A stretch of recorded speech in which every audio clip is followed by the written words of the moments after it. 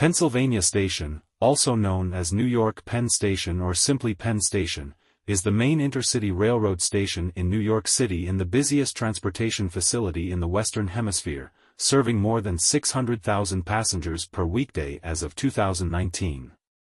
The station is located beneath Madison Square Garden in the block bounded by 7th and 8th Avenues and 31st and 33rd Streets and in the James Farley Building, with additional exits to nearby streets, in Midtown Manhattan. It is close to several popular Manhattan locations, including Herald Square, the Empire State Building, Koreatown, and Macy's Herald Square. Penn Station has 21 tracks fed by seven tunnels, including its two North River tunnels, four East River tunnels, and one Empire Connection tunnel. It is at the center of the Northeast Corridor, a passenger rail line that connects New York City with Boston to its north and Philadelphia, Baltimore, and Washington, D.C. to its south, along with various intermediate stations.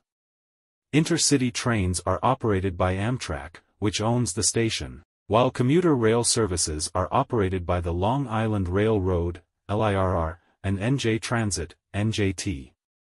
Connections are available within the complex to the New York City subway and buses.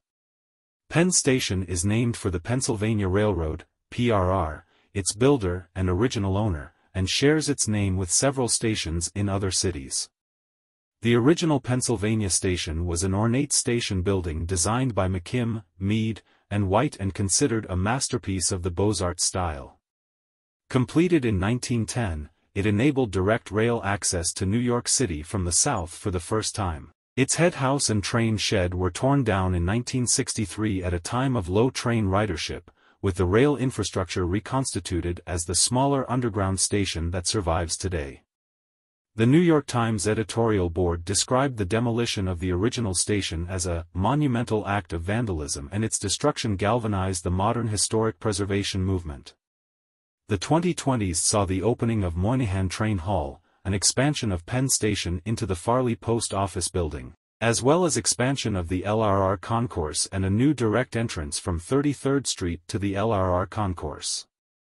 Further plans call for adding railway platforms in a new southern annex to connect to two new gateway program tunnels under the Hudson River, adding underground connections to the Herald Square station and with the PATH to the 33rd Street station, and renovating the core Penn station under Madison Square Garden.